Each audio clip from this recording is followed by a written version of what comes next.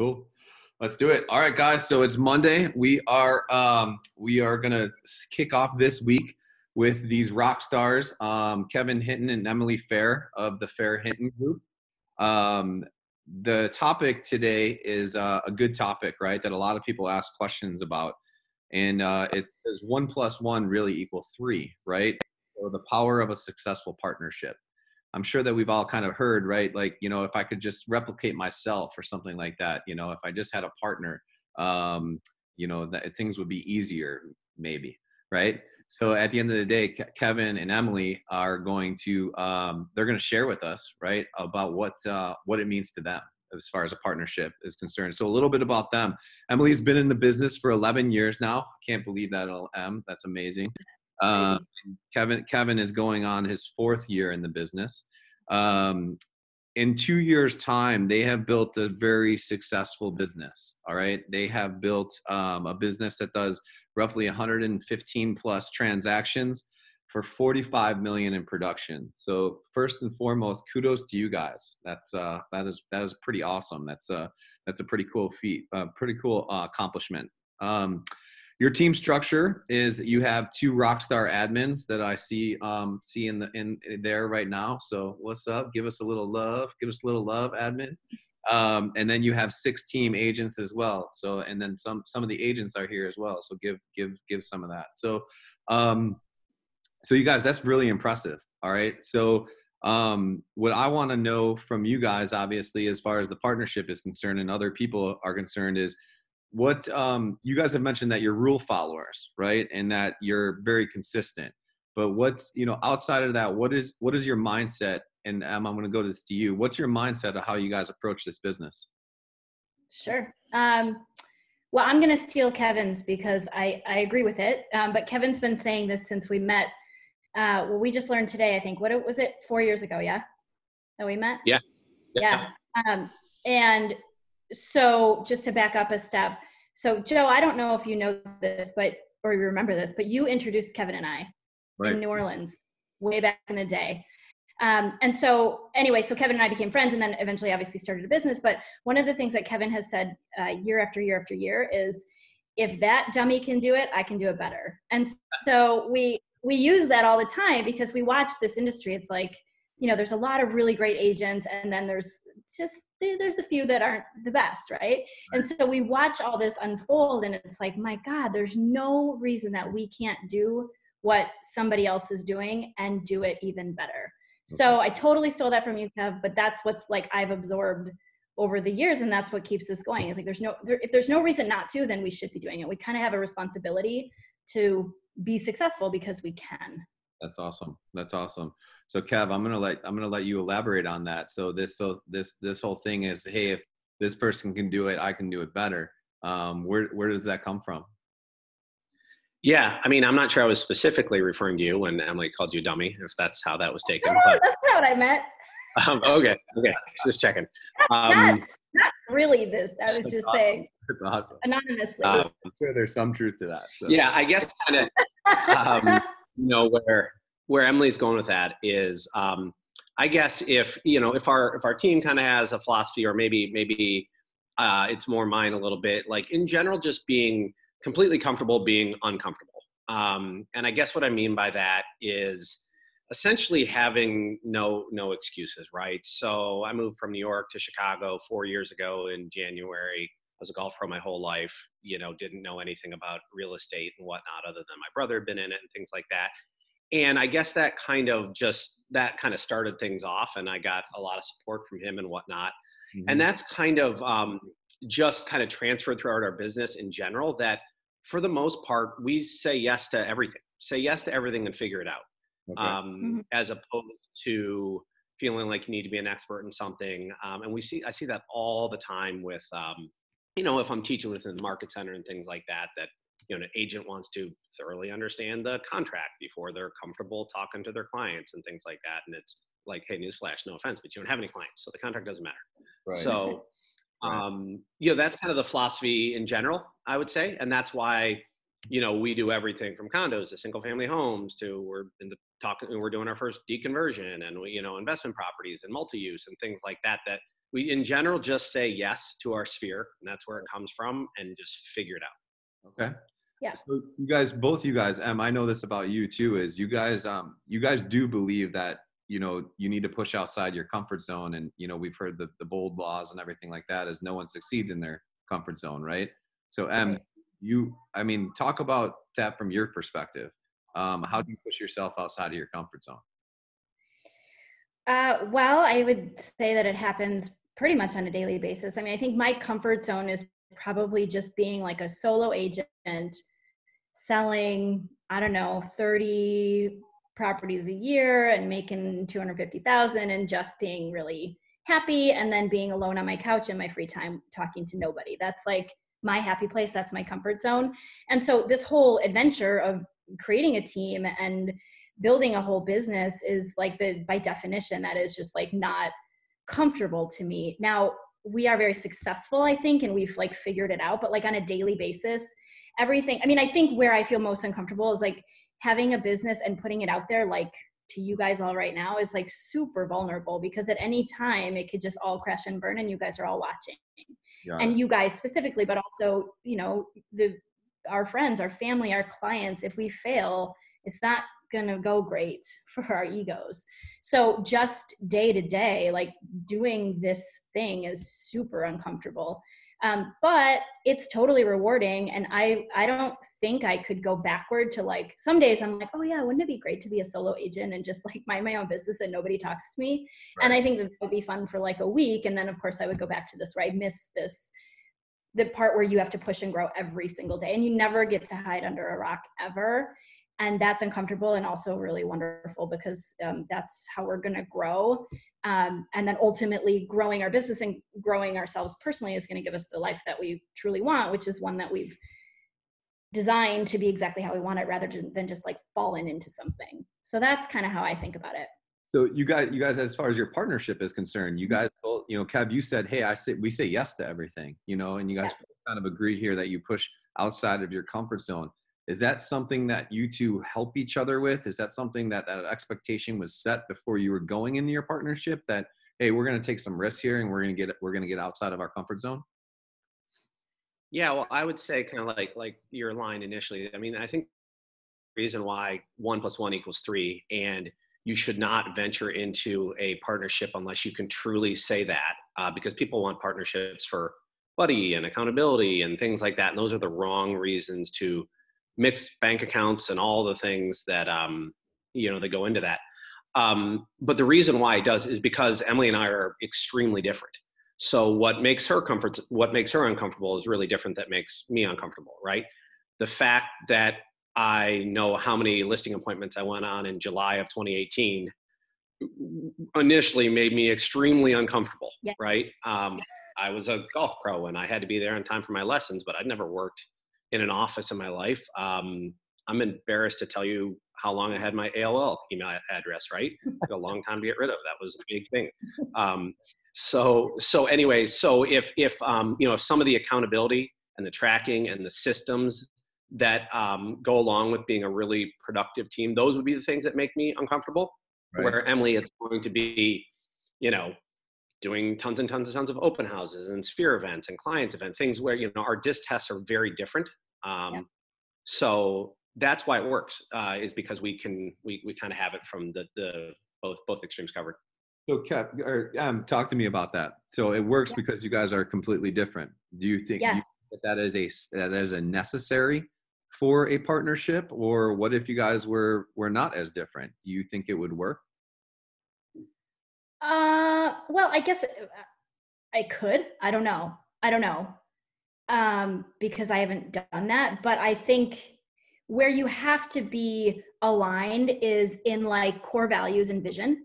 And yeah. then whether or not you're different is, you know, kind of, I guess that would be fluid based on two, uh, two different people in, in a different partnership. But for us, like we we had worked together actually on on MKT properties on your team, Joe, as buyers agents, and so we knew before we started a partnership, we knew that we worked well together. We knew that we had the same work work ethic, the same value system.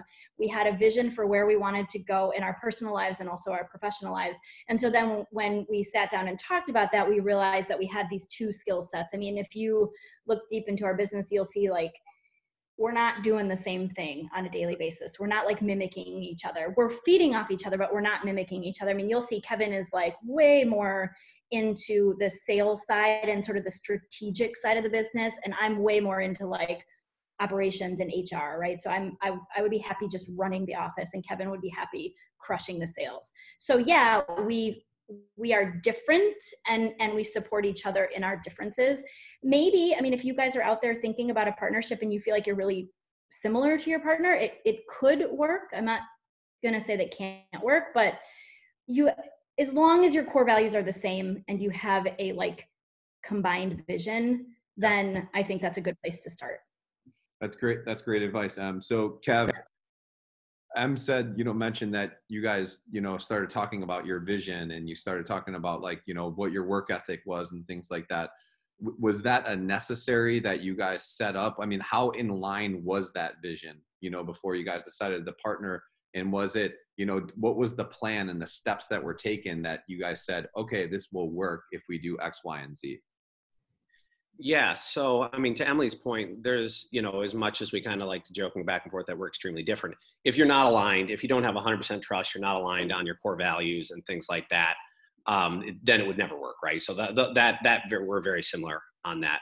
Um, you know, one thing that I would say is, you know, neither of us, um, you know, two and a half years ago said, "Hey, we want to be the biggest team in Chicago," right? Like we we never said that. It's um, it's continually evolving you know, our, our first hire was Molly, who we adore um, very much, who then hired Kim um, and, and whatnot. And so initially, right, it was, you know, how it works is, you know, first you're like, oh, I'm a, I love being a buyer's agent on Joe's team. There's all this security. This is great. I'm never going to do anything else, right? And you're like, oh, solo agent's kind of interesting. And then you're like, all right, you know, I need some leverage and let's make my first hire. And then you, then you have things like, well, you know, I don't, I'm not comfortable having a team agent or a buyer's agent because everybody always wants to work with me, right? Because nobody can do better than me. And then you realize, nope, Allie's way better at that than I am.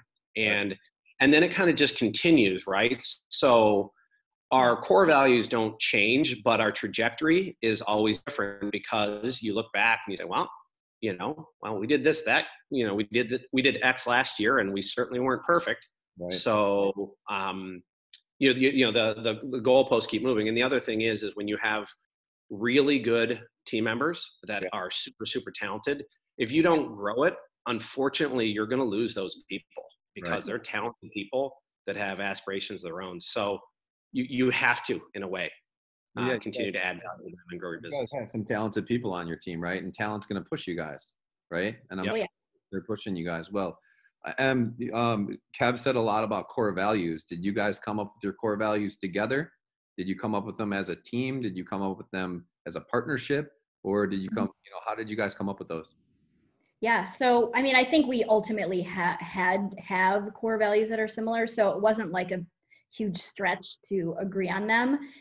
But we did. Uh, we did our, our mission, vision, and values like I don't know, Mal, like three, two years ago. Molly helped us organize all that. But we were pretty adamant that we wanted to run our business like a business. So we're not just selling real estate, we're actually running a, a pretty tight business on the back end. So we started with mission, vision, and values. Um, none of it I have memorized, so don't ask me, please. um, but I have it written down somewhere. Um, but we know like our core values, like money is one, um, fun is one of our biggest core values that we remind each other of all the time. Integrity, like we, yes, we decided together and then we wrote it down and, and we have it in all of our job postings we have it in all of our quarterly reviews um, because it's really important. We're not just out there selling real estate like we're we could be selling whatever we don't care. I mean sure real estate's fun and it's great and it gets us through but we could take this model i think and apply it. I mean widgets is is was really what we built our business on so guys, this is there's there's a little bit of sarcasm here on this next statement, but there's truth to it as well. So I'm going to elaborate on it. I would imagine the core value of fun, kind of, you know, Kevin, Kevin Kevin kind of leads that a little bit, maybe, and then integrity, may, maybe a let. I mean, but you know, you're also integrous, right? And then maybe eh, maybe integrity is more Emily. No, I, again, that was sarcasm. But my point to this is this: what if somebody else? What, eh, you know, how does that work for you? If someone else's core value is this and yours is more this, how do you align those core values? Like, meaning, how are they both important to you guys at you know at the at, at the same pace? Well, I'll I'll say because it is true that Kevin's more fun. Everybody knows it. So we have this joke on our team, like bad cop, good cop. Um, and that's fine. It works. It's fine. It's mom, dad, right? It's like you go to one for one thing and one for the other. Um, but the thing is about like with, with specific to fun, but all of our values, like if Kevin's core values are not being met, mm-hmm. then he's not going to be happy and he's not going to thrive. And if my core values aren't being met, then I'm not going to thrive. So we have to like appreciate our different strongest values and then su- support one another in that. All right. Um, fair enough. All right, guys, you guys talked about strategy and you told me in the beginning before that you guys are rule followers. All right. Um, and that you're consistent and you're consistent yeah. rule followers, I would imagine. So what, what rules are you guys following?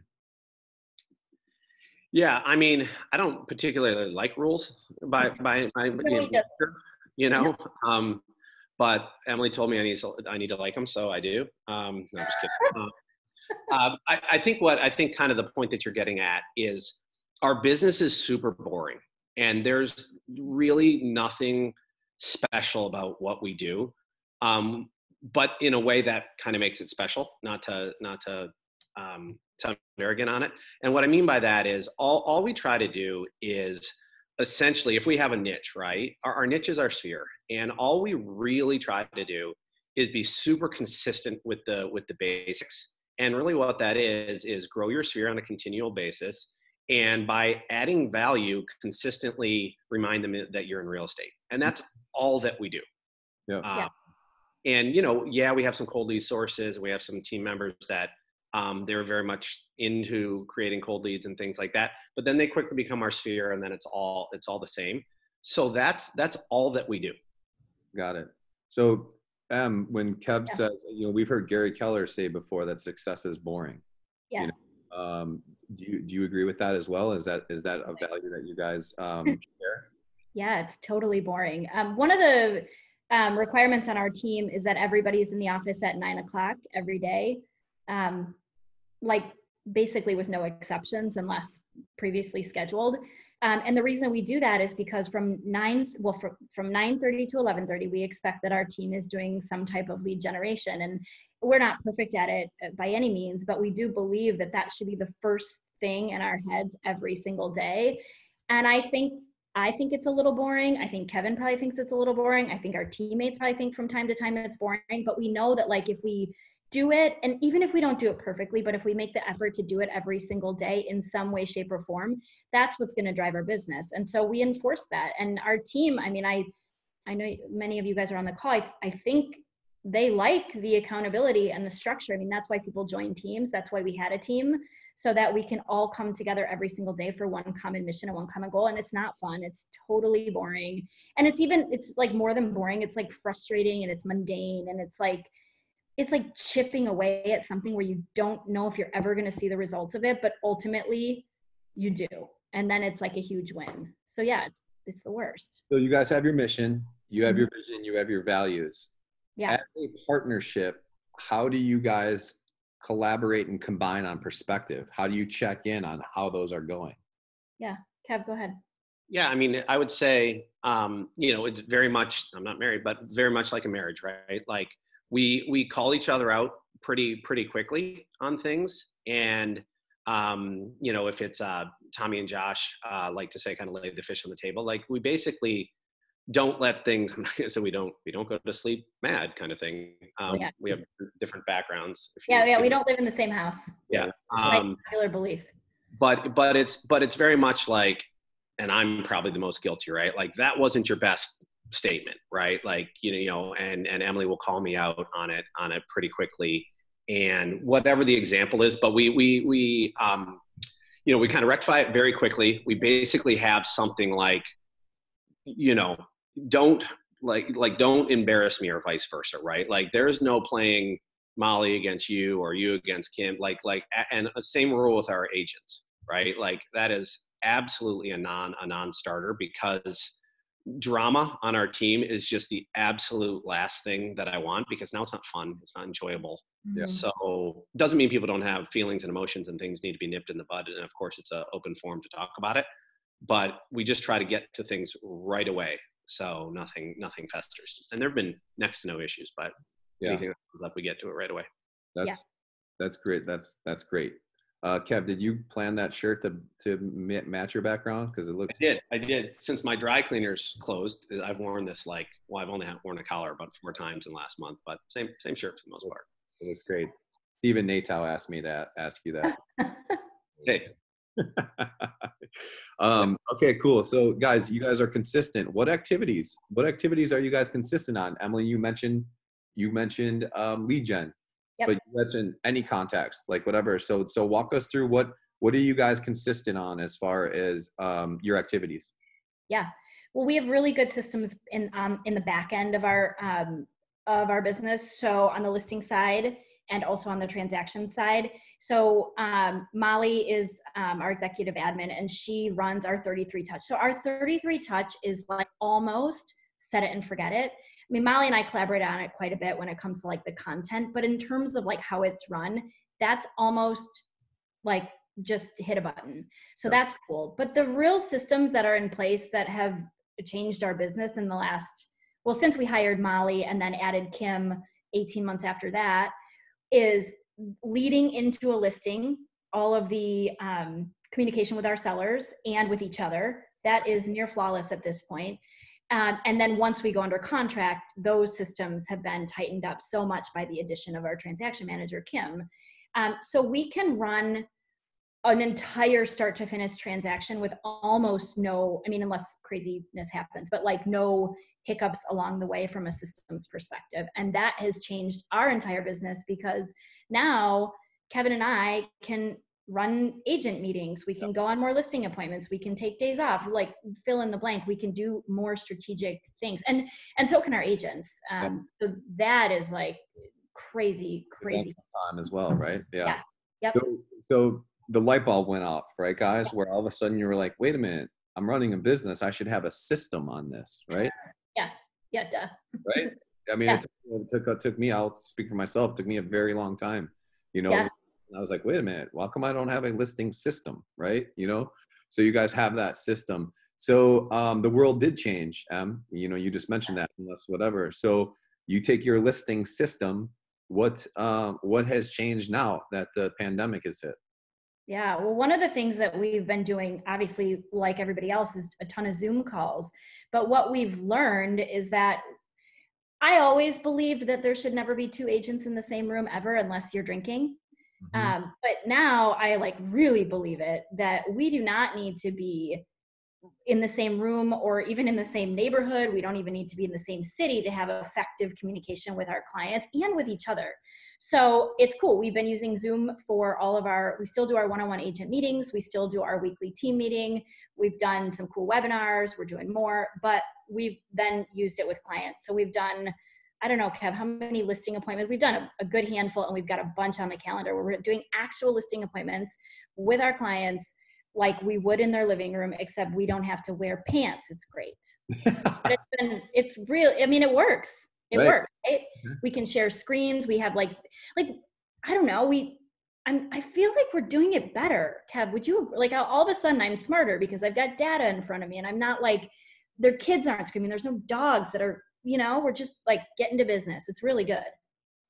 Yeah, yeah I, I think to that to that point so since you since you can't be face to face with them right it kind of it kind of forces you to think more about you know what is my value proposition how do i add value? And i you know i think where emily's kind of going with that is every agent does business their own their own way right? But i think that you know, for example, right? If if we sold 100 in some places this year, like I'll go to one or two closings just kind of for giggles, right? Like I'm never going to go to a closing. That's 3 hours of my day. I have no idea if it's going to close. Um, I'm down in the loop, parking, all that stuff. That's, you know, and that took an entire day of lead gen, right? There are and you know, and why do I need to be at an inspection the entire time and things like that. And and I get the I get the instinct of where I, I think what happens is is an agent typically masks that and that they they say that they're trying to good provide good customer service, but mm-hmm. what it really means is that they're struggling to add value in more meaningful ways. So the only thing that they tend to know to do is just to create a face to face, which is which is better than doing nothing. But now it's so unproductive and it's not scalable and it yeah. wrecks my day and it's and it's like what did you do today you're like i went to closings you're like you, that you got rewarded for an activity three months ago right right so it's backwards thinking and i and i get the instinct so anyways and that's kind of what the virtual stuff is like any kind of this is just basically market disruption that yep. anytime there's an industry where there's disruption there's going to be efficiencies that come out on the other side of it and yep. less face to face is going to be one of them yeah That's Great. Um, you said um, that you you've always thought that you know two agents should shouldn't be in the same room. That was a belief that you've always had. Yeah. Have you share? Did you share in that belief? It took me a little while to get my head wrapped around that um, because you maybe it took a little longer to add my value. So if in doubt, I'll just be there, and and and that's you know. But the other thing that that you're learning is whether it's a buyer or seller or whatever, they don't know how this goes, right? They are going to do what you tell them. It's all about how you present it and that you have a game plan. Right. So if the scenario was every single listing appointment, hey, this is how we do it. We do a Zoom call for efficiency. We run you through our entire team. Mm-hmm. Um, we get everything ahead of time, and when you want to take the next step, we'll come face to face. Right? That could be that could be, a, and they don't know any different. Uh, it's not any different than teams with showing agents, where you say, and it's all about kind of getting over um, you know your belief system that this can be a more efficient way to do it is hey on our team our showing agent does all of our first showings right he or she is going to be boots on the ground. When the second showing happens we're either going to get on a zoom go through the comps or i'm going to go in person. That's how we do it. They don't care. They don't care. They probably like your showing agent more than you anyway. They just want to know that you had a game plan. Yeah. Um, that's all they're asking for. And that, that, that level of service is there right? Yeah. And Oh yeah.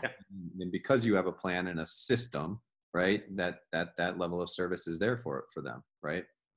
We joke about that all the time, right? Is that you know we don't the, the you know the, the, what what was the one we used Starbucks, right? Like you know they don't they don't care that um who's my main man that owns Starbucks, Schultz, right? Like you know they don't care that he's not doing uh you know brewing the coffee and mopping down the floors and everything, right? So and when you said two agents shouldn't be in the same room together um, you know, and it, that was easy for you to pivot now that this has happened. So, right, like you know, as far as you were, yeah. you always thought that and you always planned for that. So, you know, the pandemic hits. Yeah. How quickly did you guys pivot into virtual listing presentations, and what did that look like? Yeah, I think we we pivoted like immediately. Like we had virtual listing appointments, I think two and three weeks ago. Um, and we it's it's like kevin was saying at the beginning of this call like what one of the things that we're i think really good at is we just decided to do it we didn't practice it. We didn't like even really discuss it. We were like okay here's a zoom link. I think i think you just click and i'll see you there. Okay great. And then we just went for it. And we just trusted that we would just do it and then afterward discuss it and then do another one and then afterward discuss it. So like we didn't stop and try to perfect the online listing appointment. We didn't kev said pull stats and i'll i'll lead the conversation. It was like cool great. See you in five minutes and that was it i mean and then and then now it's like so much easier because we just know how to do it and we're getting better and we're getting more articulate and we're figuring out ways to add value uh, virtually and, and we're just way better but we did not try to get perfect before we just did it so your your approach was just, hey, we're going to be fluid on this, yeah. right? Yeah. All right. That's that's yeah, it's the same example of um, God love them when you know an agent spends two months putting their their uh, postcard together, right? Yeah. Nobody cares. Like right. like like great. I'm glad you are way more tech savvy than than than I am, but nobody cares, right? It's just it's the touch, it's the touch, it's touch, and yeah, add value when when, when you can, but it's you know you don't want to get caught up in the details and you do nothing. So that's kind of the point Emily's making. That's great. Um, um, how do you look at the condition? Nancy Simonson's asking, how do you look at the condition of the place? Does your um, does your oh, yeah. Yeah, Nance. Good. Hi, Nancy. Um, good question. So I, I think ultimately you do need to go to the property at some point.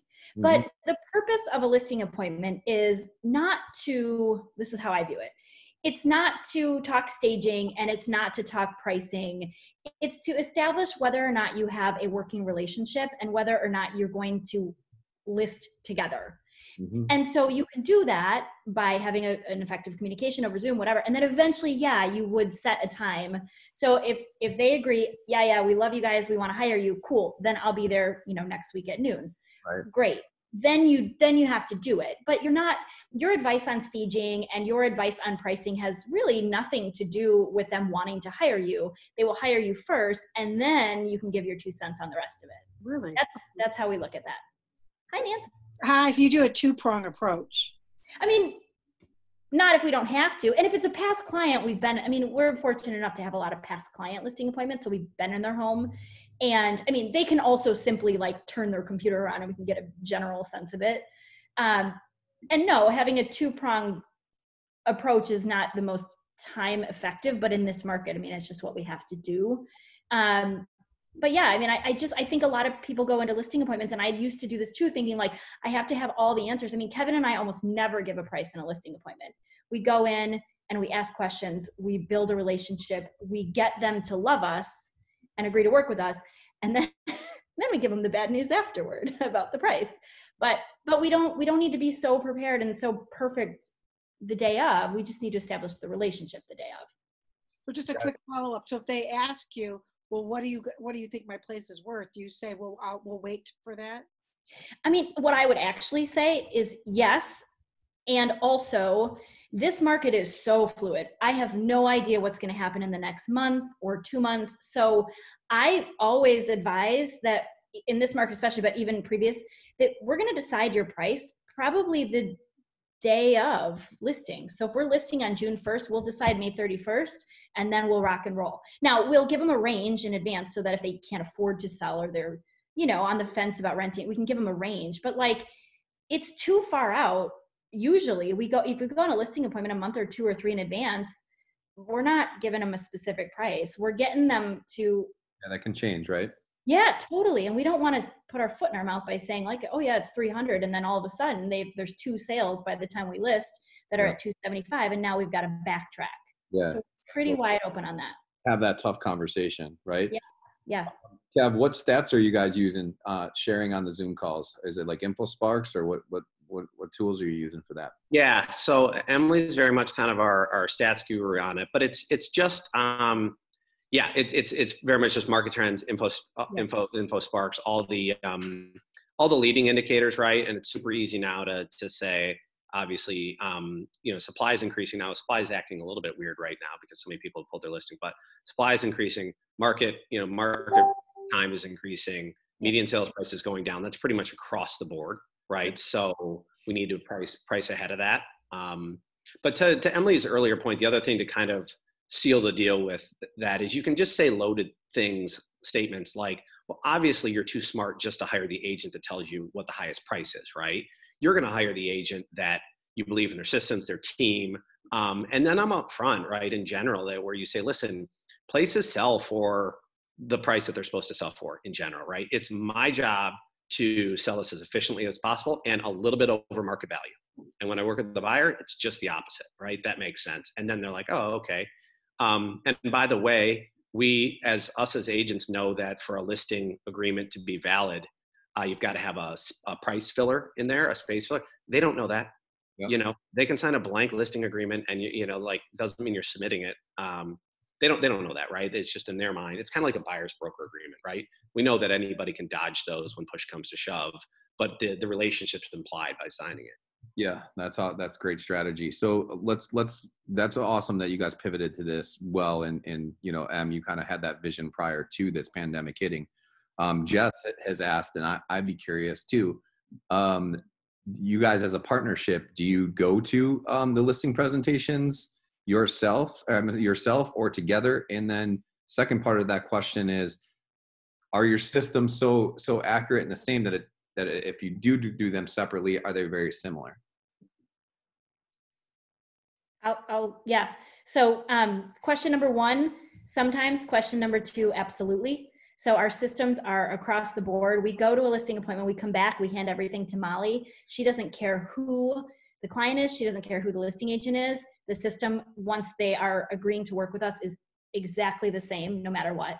Mm-hmm. Um, whether or not we go on the listing appointments together is it's kind of case by case. Like, you know, if it's a real challenge, then we feel safety in numbers and also two heads are better than one and all of that if it's a past client no brainer then we'll typically go alone but there's certain situations i mean think when things are hard to price kevin will bring me or i'll bring him just because because why i mean why wouldn't we and we feel like when we go together we never fail when we go separately we have a higher chance of failure got it got it um so as far as partnerships are concerned like you know again what advice you know would you give if somebody's on this Zoom call, which you know with the, the password stuff, we still topped out well well over 50 people, guys. So great job. People wanted to hear you with the password guru or uh, hiatus. But um, what advice would you give somebody that said, "Hey, I'm thinking of getting a partner. Like, what are what what are the adversity that you guys have to deal with, and you know what's um what's some of the best advice that you can give somebody for that?"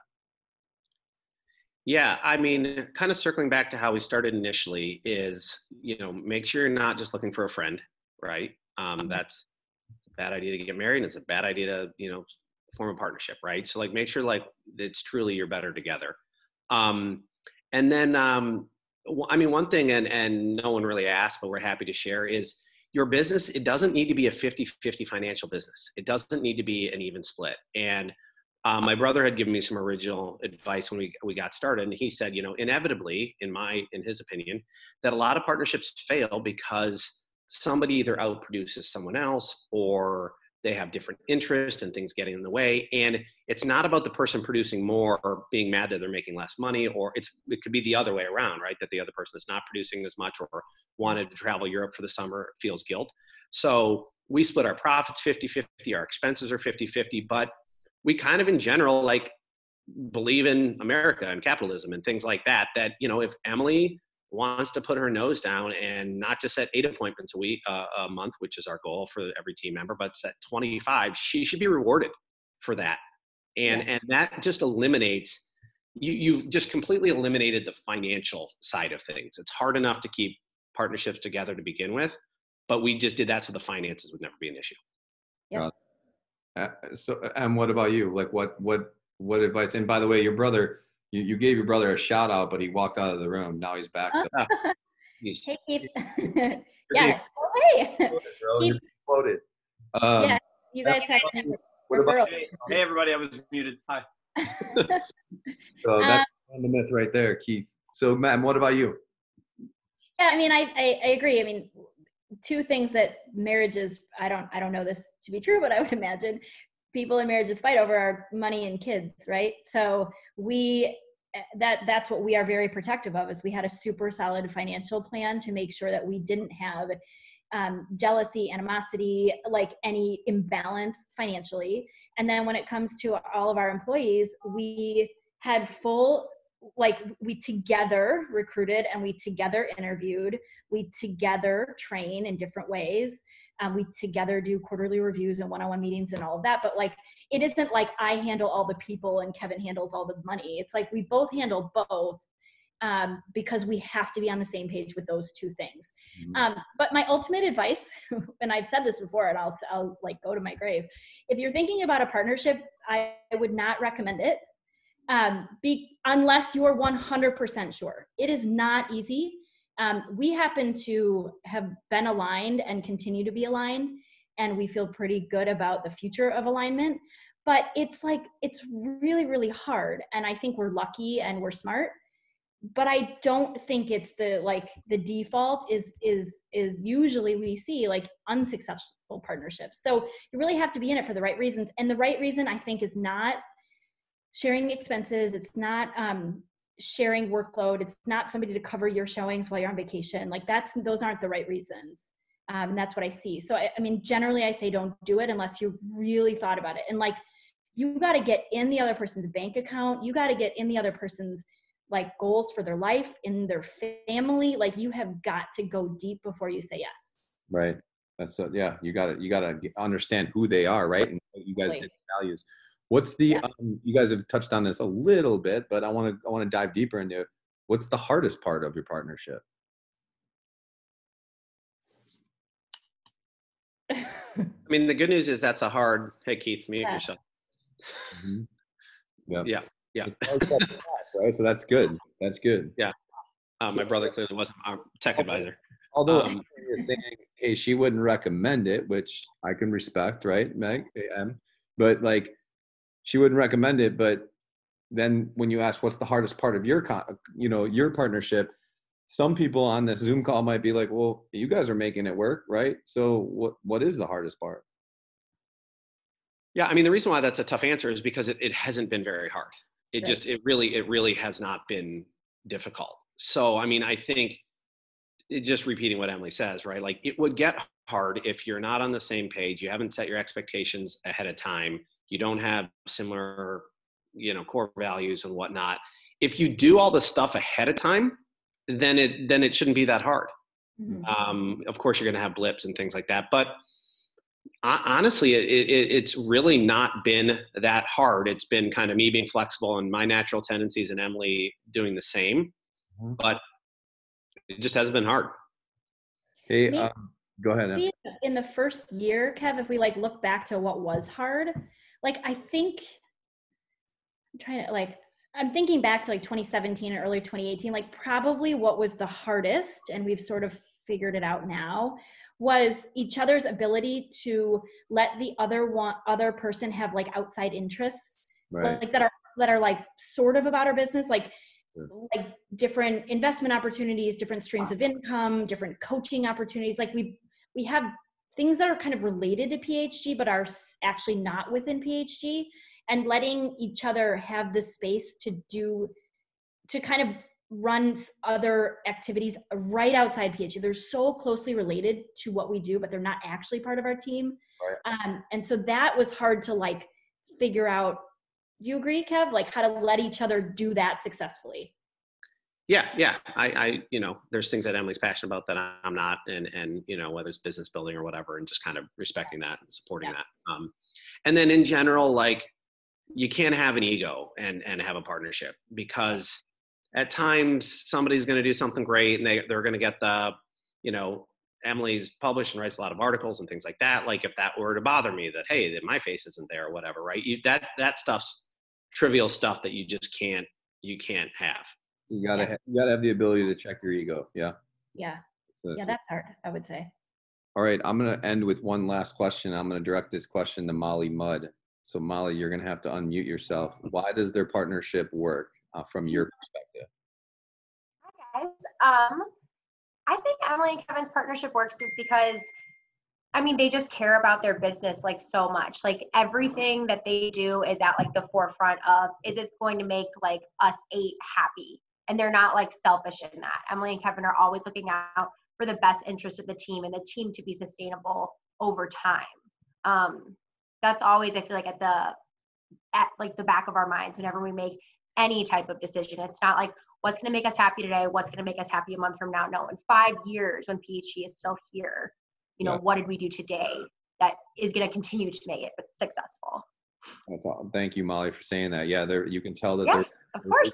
Their vision is real, right? You know, and uh, mm-hmm. they're both Integris people to make sure that that happens, and they put you guys first, and we know that about them. So for sure guys that is a wrap for today um, for the lunch and learn today i appreciate you guys first and foremost i'm super proud of both of you guys uh, you know our history and stuff like that and you guys are rock stars and i appreciate it so much that you guys have you know taken the bull by the horns and just gone with it and, and built an awesome uh, business up with great culture so kudos to you guys um, guys if you guys have questions for emily and kevin i'm going to speak for them because i know them very well and you can reach out to them right guys you yep. can reach out to them so um em why don't you uh, tell them the best way to re- reach you and kev you do the same Yep. First name, last name at KW is the best place to find me.